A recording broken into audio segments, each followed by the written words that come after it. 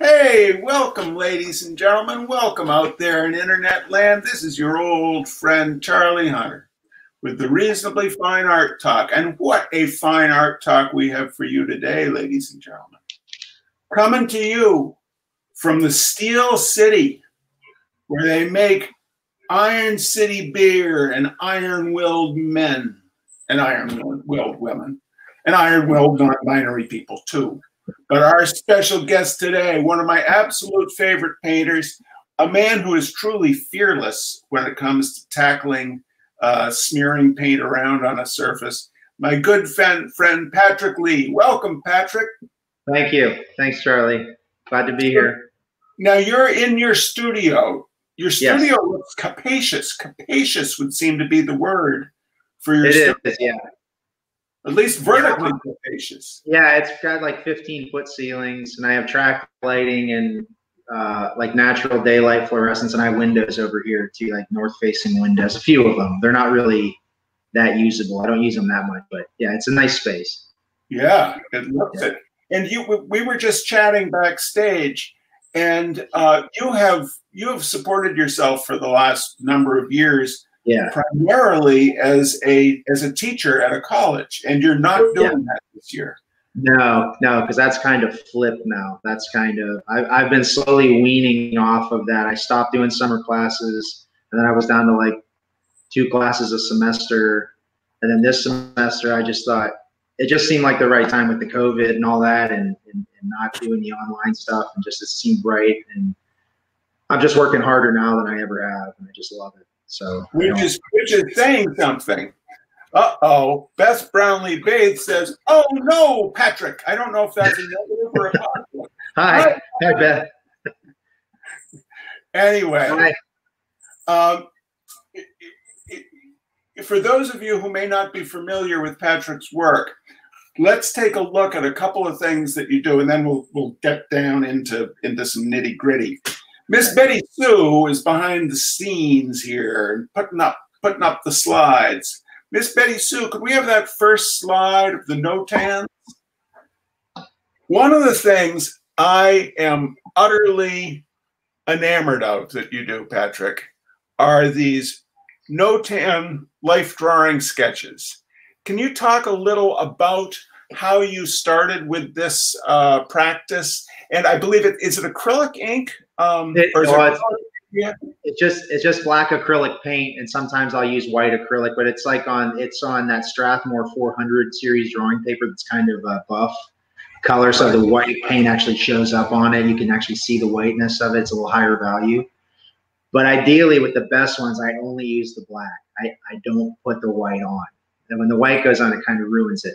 Um, but as far as when I started doing these, I think it was like 2015. It was it was right after Wayne. I think it was right after Wayne Plein or something. I got, I kind of had the idea there when I got home.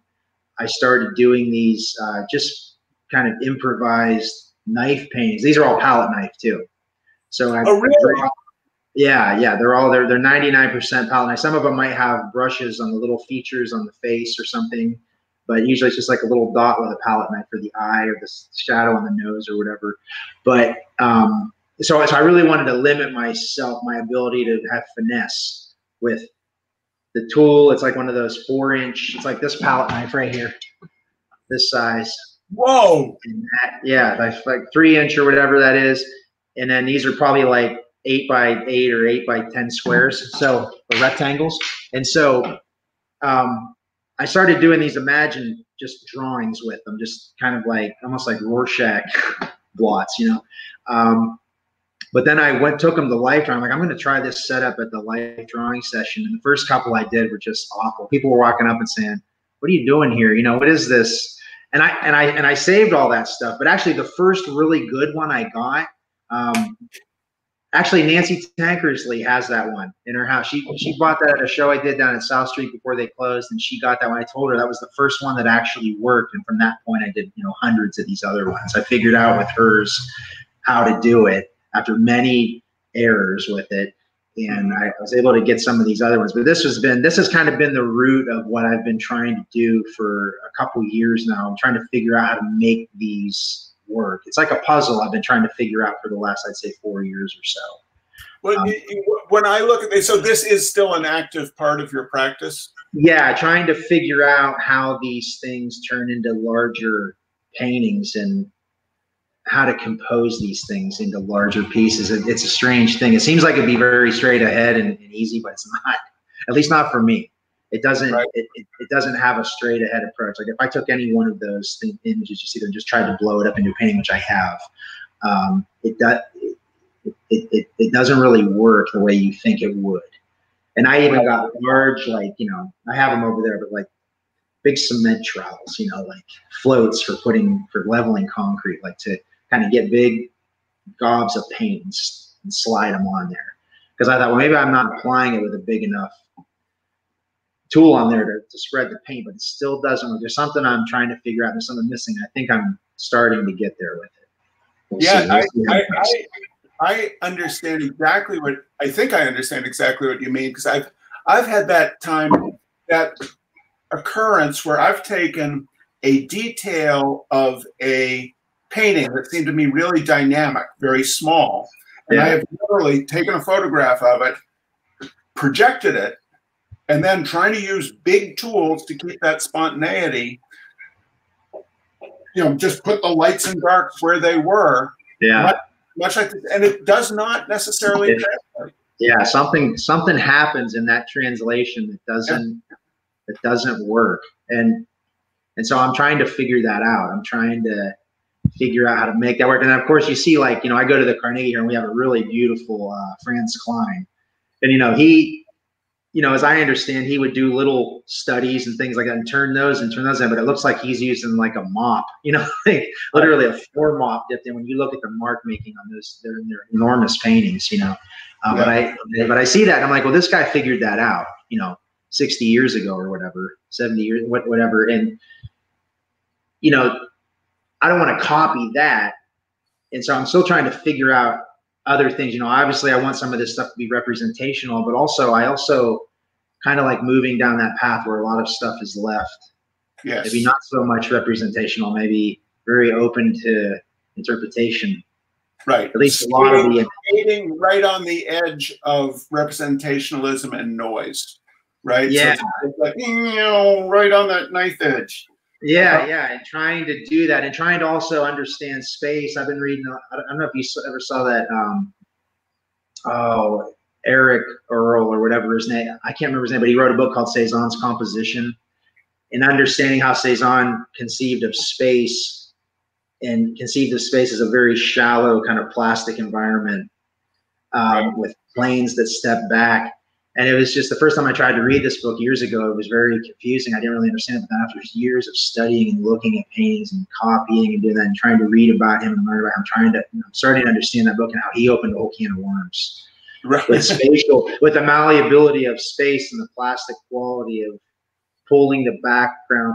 In other words, re- recreating the reality that's out there in his format of his painting, taking reality and recreating it, not just not just transcribing what's out there, but making a translation in the syntax of paint and line and color and making a new thing.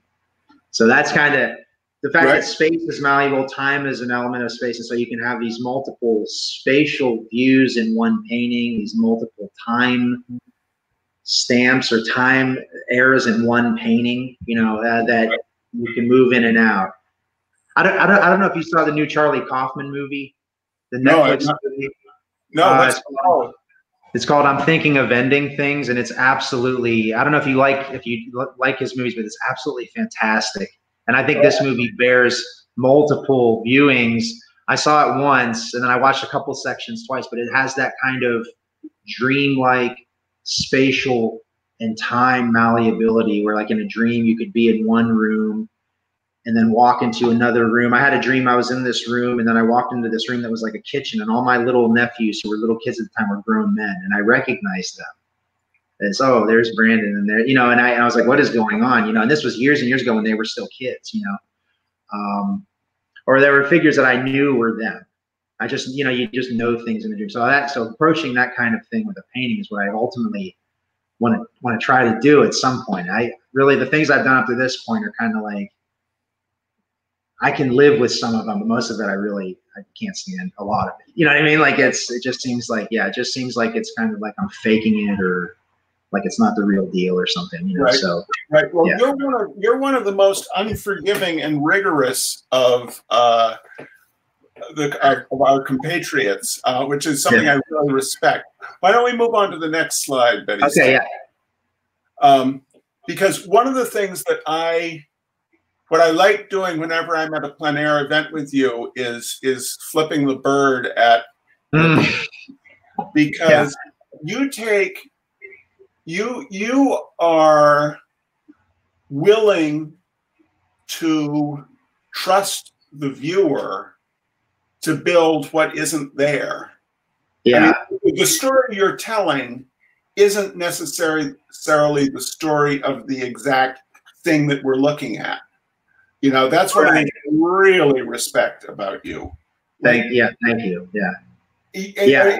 And, and looking at your notans, doing all those endless little compositions, it so informs ourselves as we're working on paintings when we're to be aware of the positive and negative spaces. What you're doing in this one, this glimpse, um, is is you know you you you have those these the two big the light world and the dark world, and then you just fracture it up.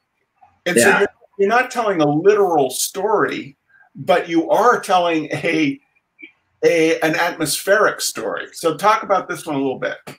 Yeah, that's thank you for saying that because that's one of the things that I um another thing I'm trying to approach rather than like I would rather do a I would rather do a half-assed painting that had some of that I could build in some of that initial feeling I had about the scene.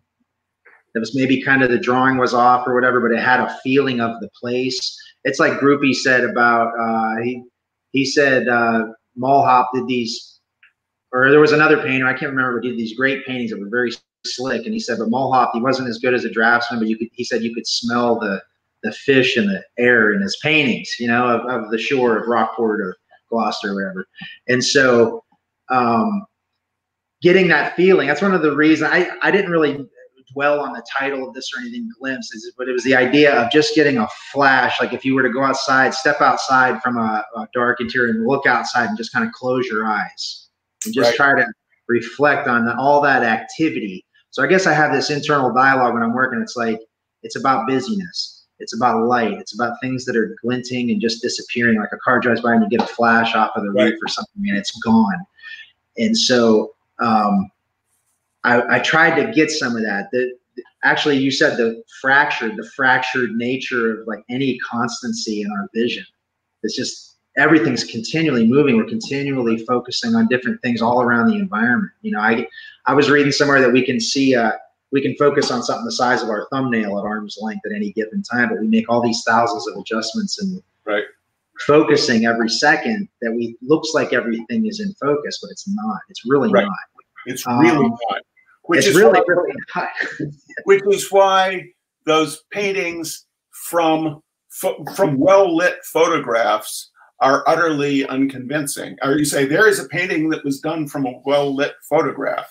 Now yeah. a painting a painting could be done from a badly lit photograph, and I would probably like it quite a bit better. Yeah, and that's actually preferable. You know, I'll, I'll, be taking photos of stuff I might want to do. I, I might see something and be like, you know, I really like this place or something. So I'll take photos of stuff I don't even really consider maybe um, picturesque or what have you. You know what I mean? Just things I might, there might be an interesting pattern of light and dark. So I'll take a picture of that.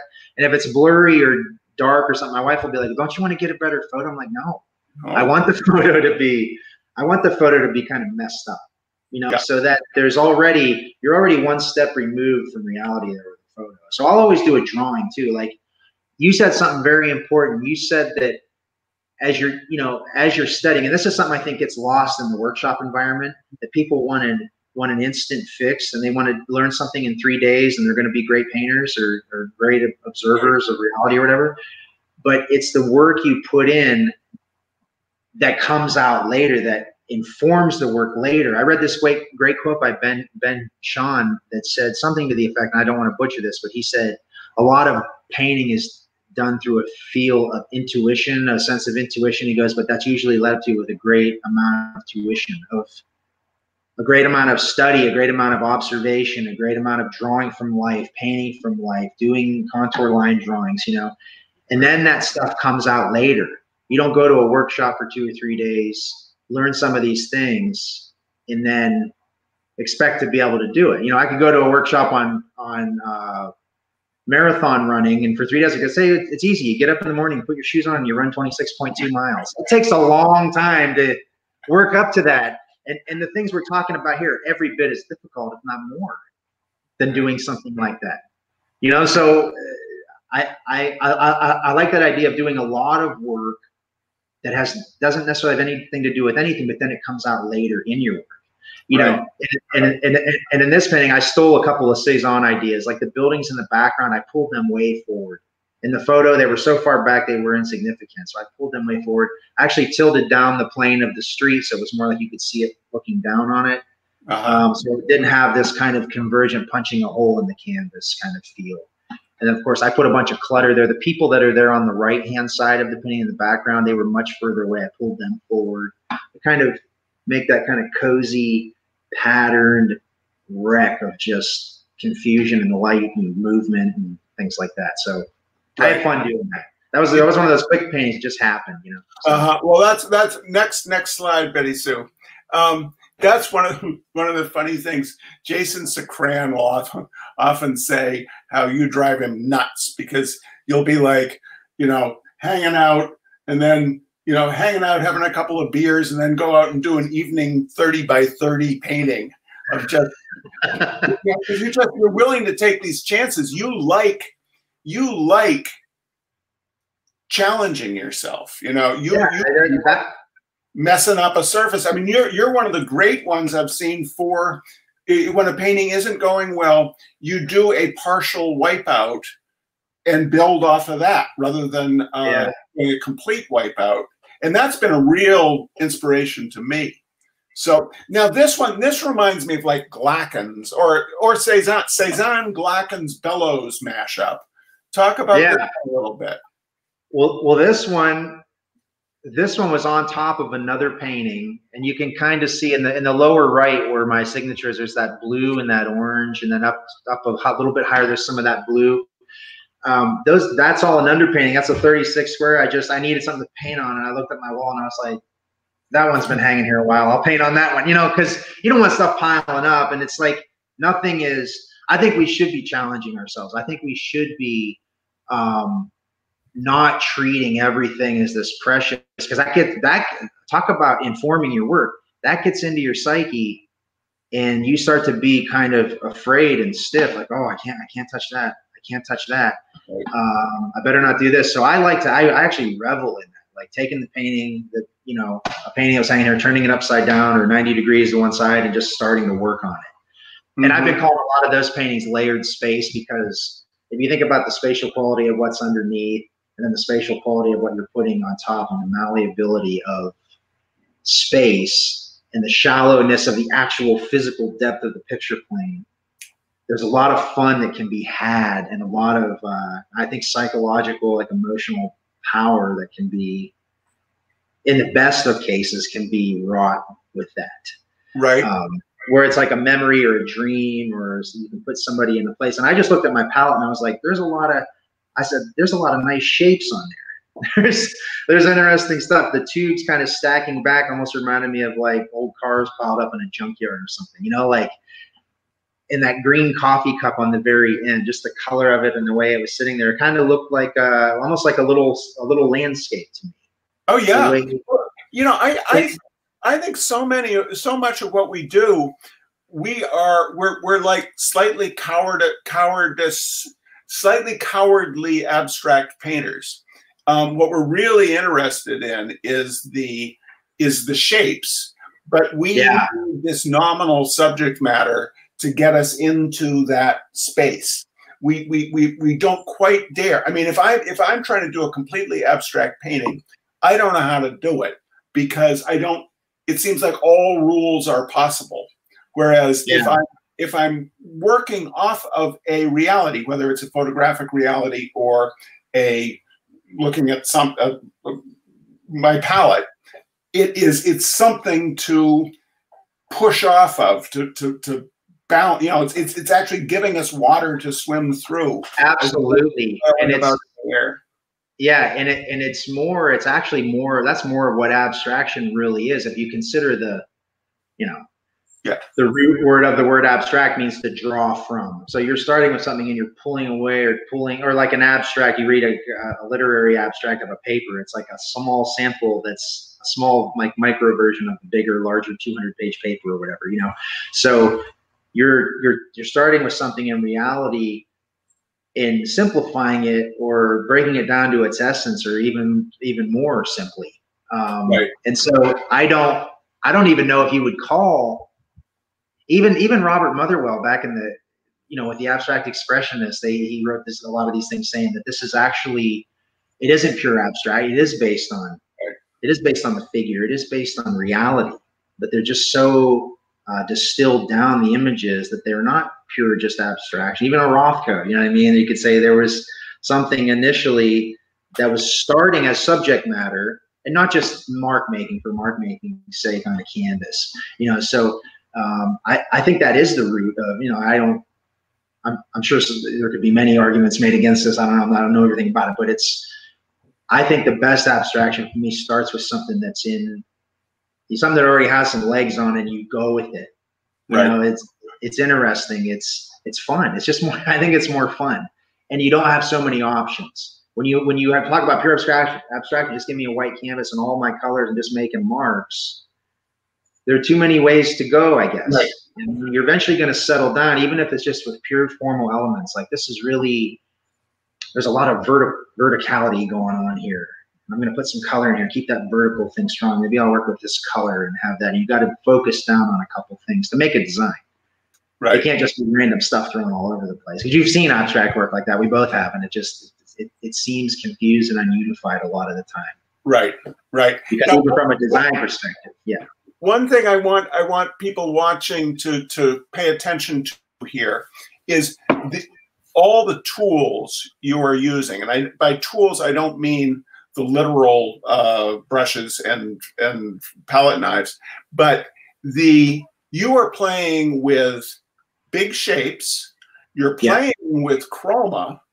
You're playing with edges very, very much because you get a device I see that you use several times is is as you are moving to the focal point, your edges get sharper and sharper.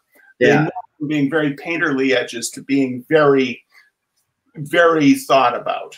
Um, yeah. Like where, where, the three, the yellow, orange, and red color passages in the slight upper left, the the white tubes of paint that are leading us over to that are so bam, bam, bam, bam. I mean, it, it it's just masterful. Your your your awareness of the tools you have at hand. Um, hey, hey, I didn't see what Doug's comment was. Love to hear you talk about the power of working within a square for your compositions. Great painting, Patrick. Okay. Um, Thanks, Doug. Thank you, Doug. The next one, they're all. Is, is the next one? No, the next one's not square. well, that's another common size. But I'll but I'll talk about the square thing. It's funny. I got a message from a guy on Instagram, and he's like, "What's with the squares?" that's first thing he said. He's like, "What's with the squares?" And I, you know, I'm actually trying to branch out maybe a little bit from that too, because of the fact that a square is already kind of uh, there's almost too much uh, har- harmony and um, you know with with equal sides, so you don't have that kind of dominance of one side. You know, you have like this kind of shared, I don't, even, I don't know what you call it. It's like an equality that's that doesn't contain dominance. Now, we usually achieve unity in a painting with the dominance of something, either the dominance of color or line or something like that. And so um, that's one of the reasons I like the square. I actually started with squares when I was doing those little notan studies, those, those, those kind of improvised ones I told you about before I was doing really uh, uh looking at the figure, looking at ob ob objects to do paintings out of them. Um, I was like, you know, a square is really challenging. A square is really challenging to break up the space and kind of create this kind of uh, linear dominance because you could go either way. You could go horizontal or vertical or even oblique. Uh, but to make that work within the square without the opposing uh, sides of the picture giving you any help. You know, if you think of a, it's kind of a funny thought to think of, you know, a very serene beach scene with the sun setting and it's on a really tall vertical. Uh, yeah, but you know, it's like it's kind of silly. It's like if you're laughing, it's like a it's like the punchline of a joke. If you were like a comedian in a, in a club with artists, you could say stuff like that. You know, Right. it's like I'm working on this great painting. It's on a 12 by 24 vertical. You know, Right. so so so so the square kind of offers uh, both of the potentiality for both of those things. You know, it's like it doesn't have either one until you really work with it and look at it and make it that way. This really lent itself to having, and this again was something I don't even remember the painting that was underneath, but I found it. I was at home and I had grabbed a couple old canvases that I had paintings that were finished and I was going to use this one. And I literally just sat at the table, and you know the whole thing about this one was the big block of you know Kerrygold butter sitting in the sitting on the plate there, and that was like the only really colorful thing. I mean, there were other things with color, but I wanted that to be all about that color. And I know it is kind of dead center in the canvas, you know, but I thought to me it just looked right. I know that might break a thousand rules of composition having that in the center because I also kind of really put some uh, emphasis on the salt and pepper shaker as far as like their shape and they're kind of emerging out of this morass and mess of kind of soft, like you said, soft edges on the left hand side. They're kind of like starting to come into focus, and then over a little bit, the butter is really in focus in the dish, and and so um, Yeah, well, there, there's so many smart ways you're moving the eye around, and this again, people really pay attention. Look, look at look at what look at what this what this Iron City Iron Man is doing here. the eye, we get let in. We get let in through these discrete objects. I mean, that that that napkin in the foreground to the plate to the uh, to the to the butter, and then the the the napkin or whatever is behind the salt and pepper shakers. It's Yeah. the eye just goes traveling through this painting, and the plane is so beautiful. The drawing is so good in this in this painting, and it's not calling attention to itself. It's not a bravura drawing painting. It's just it's it's a it's a very quietly sneaky painting. You're moving you're moving us around in this. Just masterful, masterful. thank you. Oh. yeah, thank you. Yeah, yeah, I appreciate that. Yeah. Let's move on to to, to Rockport variation. Um, now, it, it, it, this is a square again. This is a 24-24. Yeah, And one thing I wanted to ask: Do you have? I won at at Forgotten Coast two years ago. Sacran was complaining to me that I wasn't pushing myself, and so I, I love working on squares in the studio. yeah, And so I brought a bunch of square canvases to Forgotten Coast. I do not think squares are good for painting in plein air. Uh, You do need you do need the prompt of the canvas. Or at least I Yeah. need the prompt of the canvas. Say, okay, you know, because plein air painting, we're not we're not is not at least I don't think it through to the same degree that I do a studio piece. Plein air painting is I'm working on eye hand coordination, you know. So to have prompt of a one by two aspect ratio or two by one, if we're going to do your seascapes, um, is, is is incredibly helpful. So now, did this have a genesis in photography or uh, in in plein air? this kind of had in both. Um, but this was obviously done from a photo or pieces of photos. Like like like the people that are there in the photo I had of the street itself weren't there. So I had to. A lot of this was done from like contour line drawings I had. Um, and you know, for some of the stuff like like a head with light on it, I might use a completely different reference from something else, a drawing I did of the model in the studio, you know, to see what or a drawing session to see what the light looks like hitting hair. You know, so it's like a it's like a mishmash, like a piecemeal of all this stuff that's going on. Um, and I didn't I didn't do it as much on this one, but I did try to bring some of the background forward to kind of uh, limit that.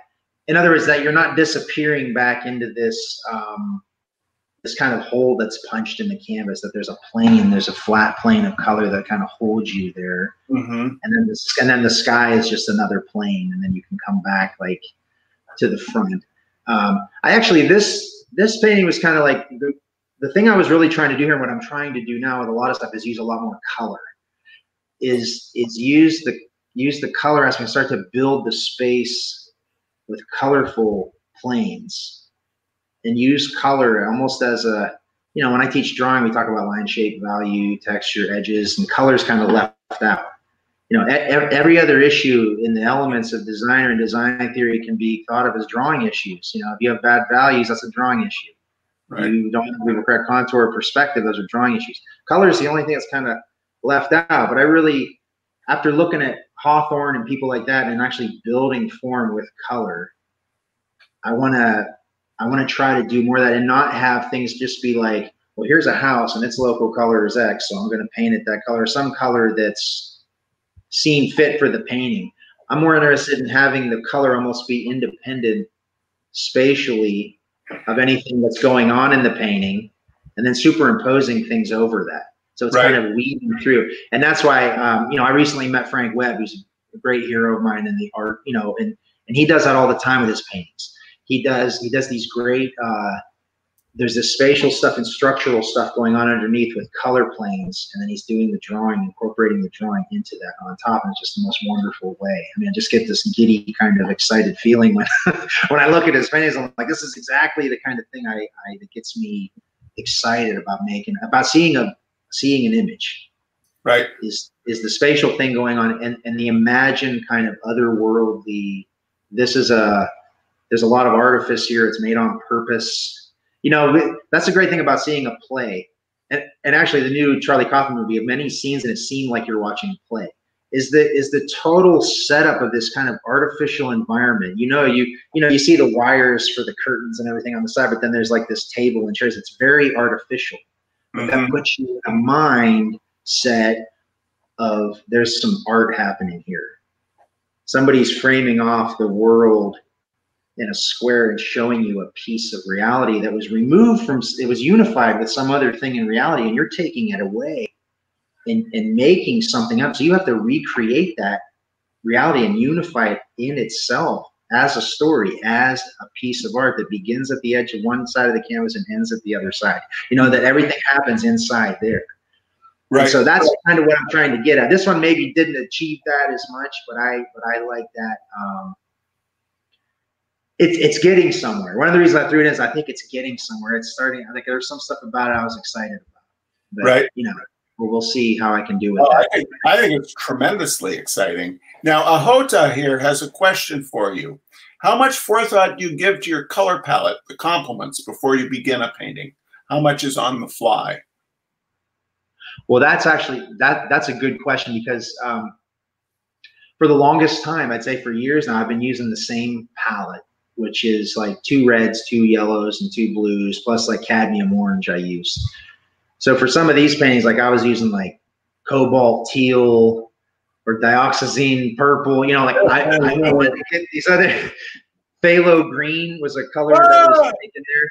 Yeah, and so You're like flirting with disaster. That's like, Yeah. that's like carrying, carrying the, the toaster around and dropping it into the swimming pool.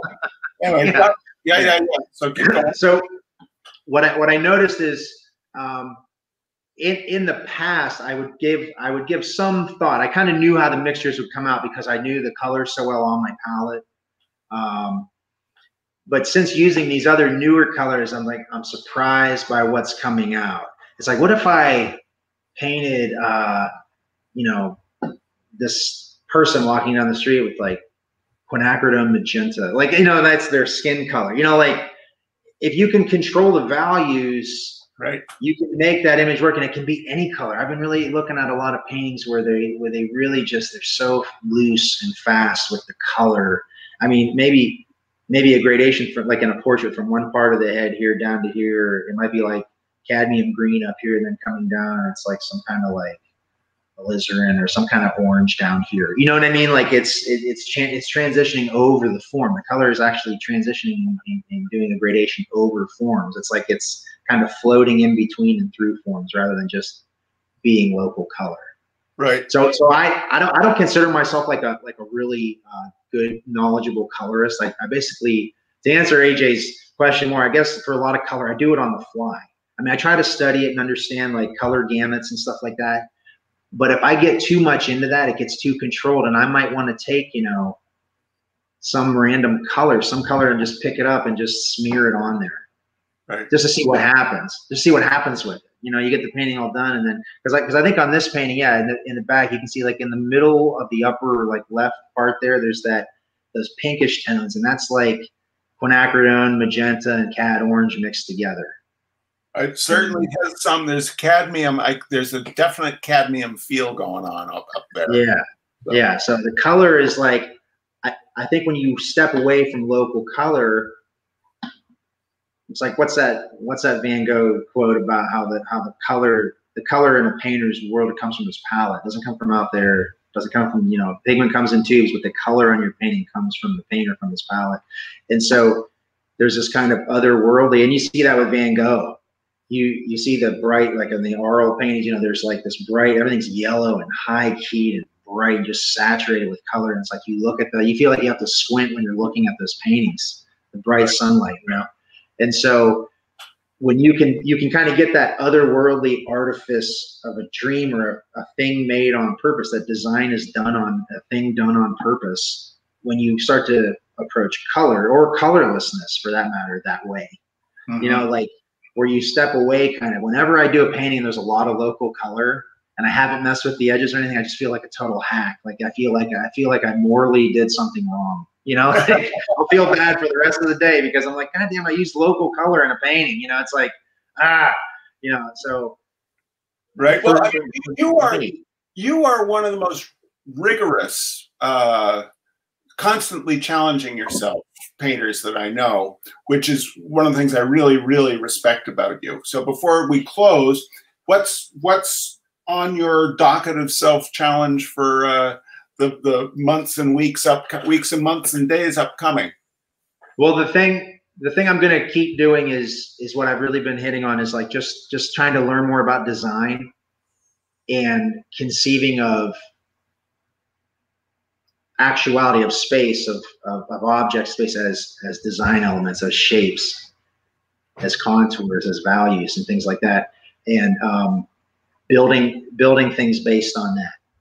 Trying to see like starting with that saying what if i did this? What if i did this? What if i use this color? So i'm i'm trying to uh, um, just push myself in that in that direction and hopefully uh, something good will come out of it i don't know i don't know it's we're gonna wait and see it might be a wasted year or something or two years or three years i don't know I we'll kind of doubt it. I kind of doubt it. I mean, you'll you'll you'll you will end up with a whole bunch of paintings to paint over in any case, and that's absolutely that's yes. Huge amount yes. of that's a gift. I'm starting to run out of. I mean, this COVID year of not being out on the road, working in the studio, I'm starting to run out of junker paintings to paint over. Yeah, I'm totally into it. That's all I want to do is find a painting that I don't like, and uh, you know, in in use it as I'm building an entirely new painting. So yeah, yeah, absolutely. Anyway, yeah. Go ahead, Charlie. I'm sorry. I just was gonna just kind of wind it up because I mean, okay. I, yeah. I can talk with you. I can talk art with you for hours. Uh, you know, I feel the same way. I I with you too. Forty minutes, and it feels like we've been talking for about two minutes. So I know, I know. Uh, so, ladies, agree, yeah. ladies and gentlemen out there in internet land, you definitely should uh, follow Mr. Patrick Lee. He's on Instagram, and I believe it's Patrick Lee Art. Yeah, at Patrick Lee Art. Yeah. Yeah, and yeah. Uh, and and I mean, he, you're always thinking about interesting interesting stuff. So it's a joy. To, let's let's let's get one more pithy uh, observation from you uh, before we leave for the day. no, I just want to thank you for uh, having me on, Charlie. You know, I you know I appreciate you so much as a person and your work.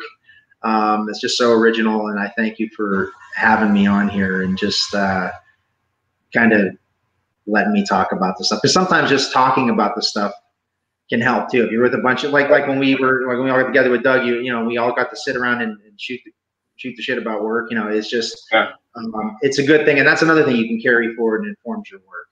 The conversations you have with people, the thing somebody might say something, you're like, yeah, you know, I might, I might think about that. So yeah, Yeah. that that is so that is so critical.